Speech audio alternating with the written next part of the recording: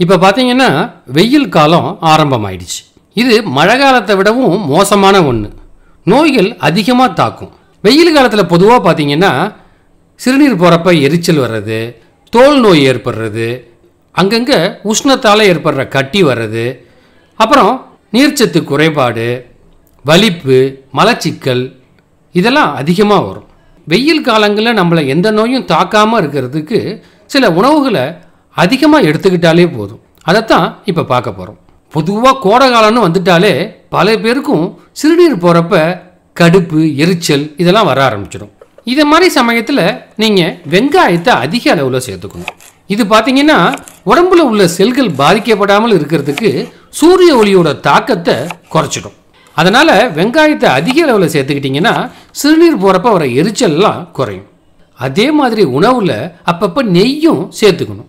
இது பார்த்தீங்கன்னா உடல் சோர்வை போக்கும் நீர் சுருக்க குணமாக்கும் நீர்ச்சத்து குறைபாட்டையும் சரி பண்ணும். கோடை காலத்தில் நம்ம நோய் எதிர்ப்பு சக்தியை அதிகரிக்கிறதுக்கு ஆன்டி ஆக்சிடென்ட்ஸ் வைட்டமின் சி இதெல்லாம் அதிகமாக இருக்கிற நெல்லிக்காயை எடுத்துக்கணும். தினமும் ஒரு ரெண்டு நெல்லிக்காவை சாப்பிட்டாலே போதும். இல்லைன்னா இதை ஜூஸாக செஞ்சு கூட குடிக்கலாம். இது பார்த்தீங்கன்னா நம்மளை நோய் தொற்றுலேருந்து பாதுகாக்கும். கோடை வெப்பத்தை சமாளிக்கிறதுக்கு ரொம்பவும் உதவக்கூடியது இளநீர். இதில் இருக்கிற எலக்ட்ரோலைட்கள் தாதுக்கள் இதெல்லாம் வெயிலால் உண்டாகிற நோயோட பாதிப்பை குறைக்கும். இருந்தாலும் இளநீரை வெறும் வயிற்றில் சாப்பிட்றது அவ்வளவு நல்லதில்லை. ஏதாவது உணவு எடுத்துக்கிட்ட அப்புறம் இளநீர் சாப்பிட்றது தான் சரியான முறை. ஆரஞ்சில் பார்த்தீங்கன்னா வைட்டமின் சி அதிக அளவில் இருக்குது இது நோய் எதிர்ப்பு சக்தியை அதிகரிக்கும். அது மட்டும் இல்லை பொட்டாசியத்தோட அளவையும் இது அதிகரிக்கும். இந்த ஆரஞ்சு பழத்தில் பார்த்தீங்கன்னா அதிக அளவில் எலக்ட்ரோலைட் இருக்குது இது நமக்கு உடனே ஒரு சக்தியை கொடுக்கும். அதனால் அப்பப்போ ஆரஞ்சு பழமாவோ இல்லை ஜூஸாவோ எடுத்துக்கிறது ரொம்ப நல்லது. கோடை காலத்தில் தினமும் ஒரு ரெண்டு துளசி இலைகளை பறித்து பச்சையாக சாப்பிட்டு வந்தாலே போதும். உடம்புல இருக்கிற நச்சுக்கள் அழுக்கு எல்லாத்தையும் சுத்தம் செஞ்சிடும். அது மட்டும் இல்லைங்க நம்ம உடம்புல உள் உறுப்புகளில் எந்த பாதிப்பு இருந்தாலும் சரி அதை இது குணப்படுத்தும். கோடை காலத்தில் இஞ்சி ஜீரகம் பெருங்காயம் கொத்தமல்லி கருவேப்பிலை இது எல்லாத்தையும் மோரில் கலந்து கொஞ்சம் உப்பையும் சேர்த்து போட்டு ஒரு கிளாஸ் குடிச்சிட்டு வந்தீங்கன்னு வச்சுங்க. கோடை வெப்பத்தால் உஷ்ணமாக இருக்கிறவங்க உடம்பு நல்லா குலுகுலுன்னு ஆகிடும் இது நமக்கு ரொம்ப ஆரோக்கியத்தை கொடுக்குற ஒரு அருமையான பானம். வெயில் காலம் அப்படின்னாலே நீங்கள் அவசியம் சாப்பிட வேண்டியது தர்பூசணி தான்.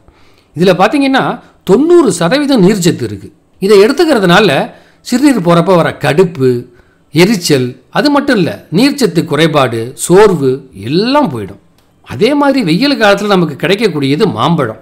இதில் vitamin A C potassium calcium phosphorus இதெல்லாம் அதிக அளவில் இருக்குது அதனால் வாரத்துக்கு ரெண்டு மாம்பழங்களை சாப்பிட்றது அவ்வளவு நல்லது.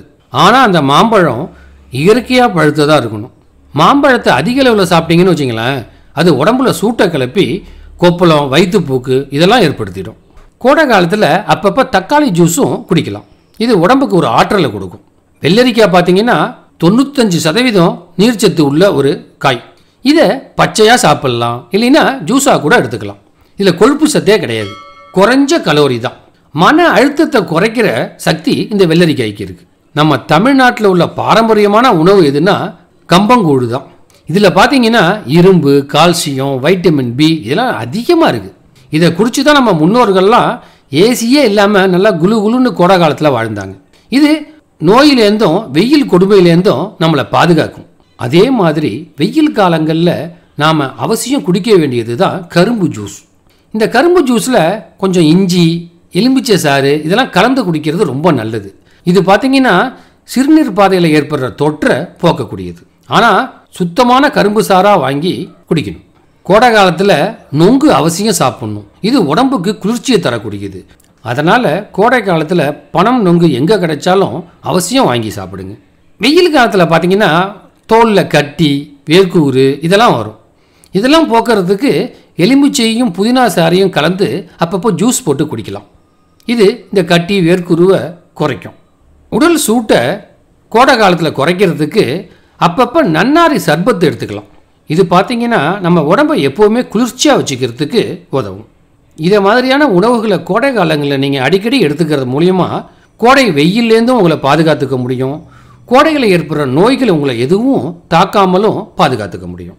இந்த வீடியோ உங்களுக்கு பிடிச்சிருந்ததுன்னா மறக்காமல் லைக் பண்ணுங்கள் உங்கள் நண்பர்களுக்கும் ஷேர் பண்ணுங்கள் இது வரைக்கும் எங்கள் சேனலை சப்ஸ்கிரைப் பண்ணாமல் இருந்தீங்கன்னா வீடியோவுக்கு கீழே இருக்கிற சப்ஸ்கிரைப் பட்டனை ஒரு தடவை அழுத்தி பக்கத்தில் உள்ள பெல் சிம்பலையும் அழுத்த மறந்துடாதீங்க.